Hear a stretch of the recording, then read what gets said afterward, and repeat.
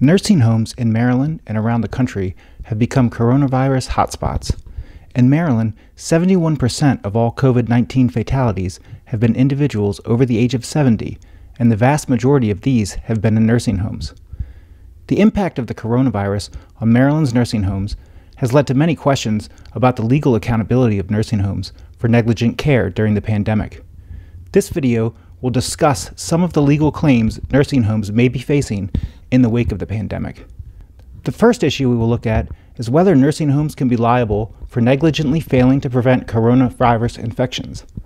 In our opinion, it is highly unlikely that any nursing homes will be held liable in these types of cases. Nursing homes and hospitals have a duty to protect against infection and can be liable if they breach that duty.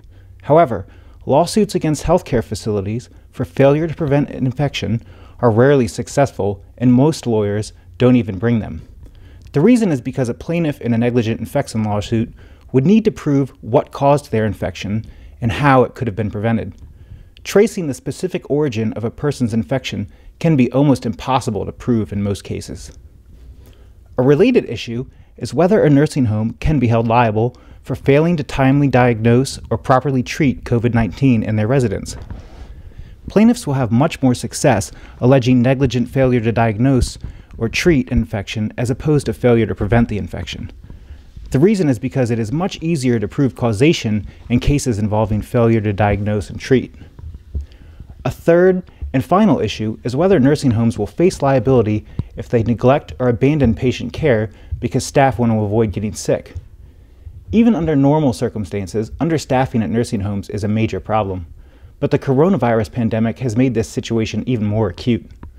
Nursing homes across the country are reporting widespread understaffing. Countless elderly residents may be getting left in their beds and neglected because there are not enough staff on hand to take care of them, or because the staff on hand want to avoid contact with them. Nursing facilities still have a basic obligation to provide minimum care for residents, and this obligation does not get temporarily suspended because of the coronavirus pandemic. Nursing homes can and will be held accountable for neglect or abuse of elderly residents. Our firm, Miller & Zois, handles nursing home neglect and abuse cases in Maryland.